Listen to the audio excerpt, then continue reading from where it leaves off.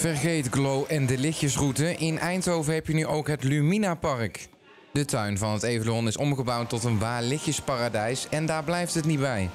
In the park, you can see uh, one, over 150 installations which you can interact with. There are more than 20 of them. Some some kids would like to uh, become the pilot. They can go to the plane and uh, become the pilot.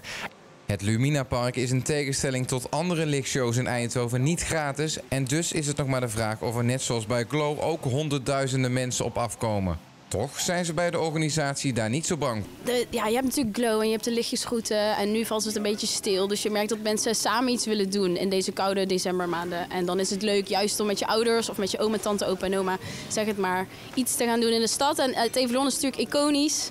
Dus dat uh, brengt het licht, Evelon, alles bij elkaar. Een leuk avondje uit eigenlijk. In Eindhoven there is a festival like Glow and everybody will compare that park to that. But uh, we are like we are different. Uh, Glow is more about the shows. It's uh, more about uh, um, the story which is in the city center, uh, where you can't really create such an atmosphere. Het publiek is in ieder geval verrast en staat versteld van wat er allemaal is te zien. Wat vind je zo leuk? De attracties en de lichten. Heel mooi. En wat vind je het mooist? Nou, die vliegtuig daar. Ja, is dat je lievelings? Ja. Uh, ik ben jarig vandaag en ik dacht, laten we eens iets leuks doen, moeder en dochter.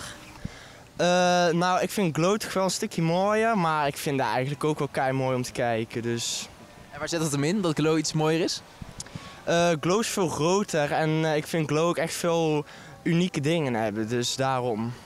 Op 7 januari gaan de lichten uit en gaat het Lumina Park weer naar een andere stad in Europa.